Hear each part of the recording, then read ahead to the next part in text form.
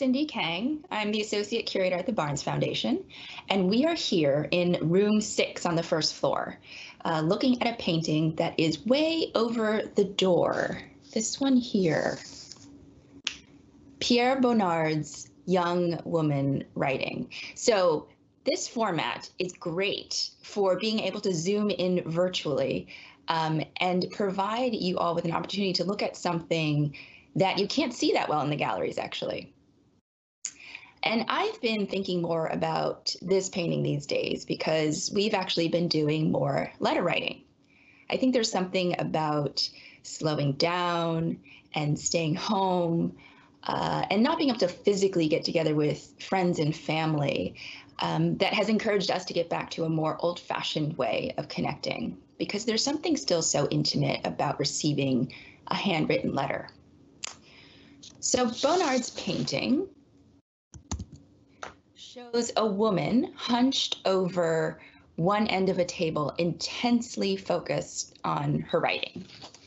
She seems to be by herself in a dining room, given that this is a large, uh, rounded table covered in a red tablecloth. And in the background, there is a sideboard on the left here. On the right, there is a wonderfully multicolored upholstered chair.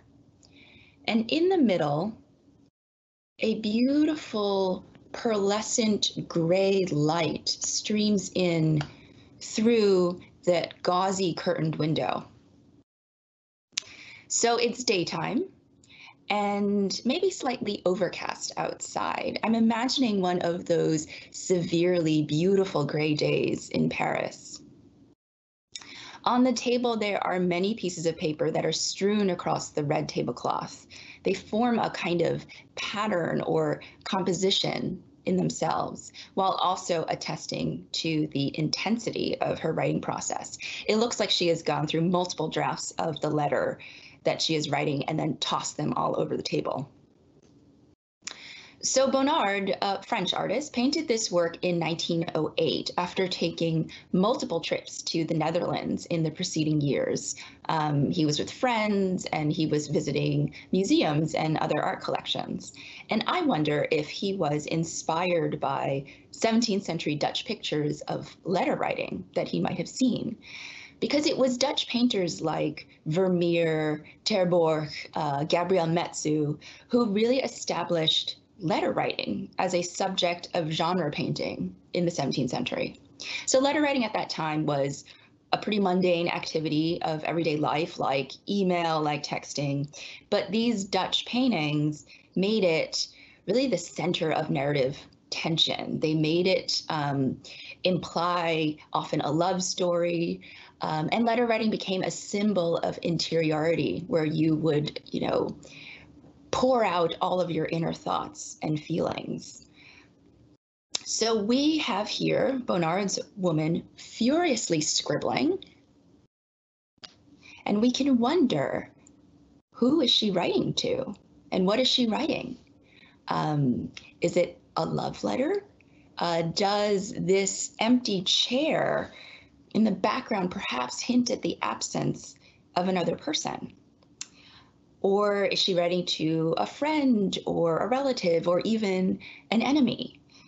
Um, is it a letter of good news or bad news? Uh, anger or passion? Or maybe she's even trying to compose a poem and can't get the words right. Who knows? Who really knows? But the way Bonnard lays on paint helps to convey a sense of urgency in this ephemeral moment of daily life. So first of all, the work is done on um, paperboard that has been lined onto canvas. And you can see some of the exposed support in the corners here, if you can just barely get that in the corner, but perhaps better here in the middle, um, where you can see it in the window, these exposed, uh, this exposed ground as part of the composition, they help to convey a sense of transparency.